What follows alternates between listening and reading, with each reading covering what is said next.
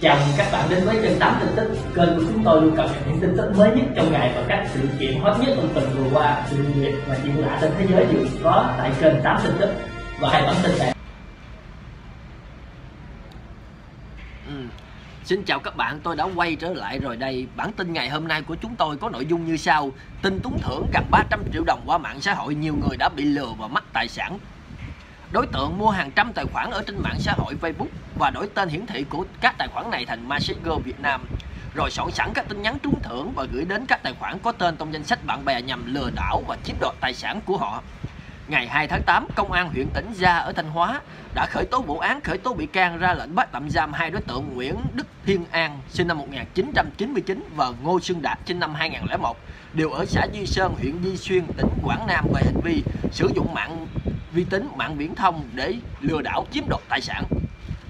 Kết quả điều tra ban đầu của công an huyện Tĩnh Gia thông qua mạng xã hội Facebook, An đã mua hàng trăm tài khoản mạng xã hội Facebook với giá 10.000 đồng trên một tài khoản mà thôi. Sau đó đã đổi tên hiển thị của các tài khoản này thành Messenger Việt Nam.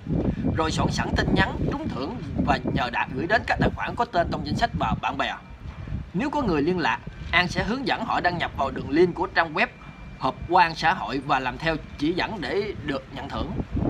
Bằng thủ đoạn trên, An và Đạt đã lừa đảo chiếm đoạt tài sản của nhiều người trên khắp cả nước với tổng số tiền hơn 400 triệu đồng. Điển hình như trường hợp của anh A ở huyện Tĩnh Gia, Thanh Hóa bị các đối tượng này lừa đảo chiếm đoạt số tiền là 63,2 triệu đồng. Và theo trình bày của anh A thì sau khi nhận được thông báo vào Facebook và làm theo hướng dẫn của các đối tượng, anh được thông báo phải nộp 3,5 triệu đồng phí hồ sơ để được nhận thưởng gồm một xe máy SH trị giá 97 triệu đồng và 200 triệu đồng tiền mặt. Vì tin lời các đối tượng, anh A đã nộp tiền và tiếp tục được yêu cầu phải nộp 29,7 triệu đồng tiền thuế VAT. Tuy nhiên sau khi nộp số tiền tên vào tài khoản, anh A tiếp tục được yêu cầu nộp thêm 30 triệu đồng nữa để lấy mã code 6 số. Sau khi có mã này thì mới được nhận phần thưởng. Nghĩ rằng đã đến bước cuối cùng để nhận phần thưởng trị giá gần 300 triệu đồng, anh A đã nộp tiền theo yêu cầu của các đối tượng. Tuy nhiên, phần thưởng không thấy đâu, anh A còn bị các đối tượng trên chặn mọi liên lạc biết mình đã bị lừa. Anh A đã làm đơn tố cáo đến các cơ quan chức năng. Và theo cơ quan công an, An và Đạt đều là những đối tượng nghiện game nặng. Toàn bộ số tiền lừa đảo chiếm đoạt các đối tượng này chia nhau chơi game à, đã tiêu xài hết rồi. Rồi cảm ơn các bạn đã theo dõi video Qua đây cho chúng ta thấy là đừng bao giờ tin những việc ở trên mạng Không có ai mà cho không ai cái gì bao giờ đó, Điển hình đó. Trơ trơ trước mắt nếu như thật sự 300 triệu đồng mà có ai mà đi cho các bạn không không mà như anh A này lại suy nghĩ quá đơn giản chỉ cần bỏ tiền ra là có.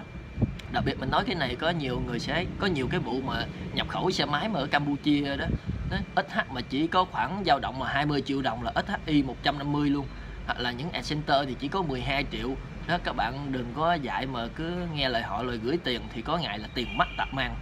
Đó họ yêu cầu gửi trước để họ làm cà vẹt vào biển số tỉnh gì đó, là phải chi phí khoảng hai ba triệu đồng gì đó.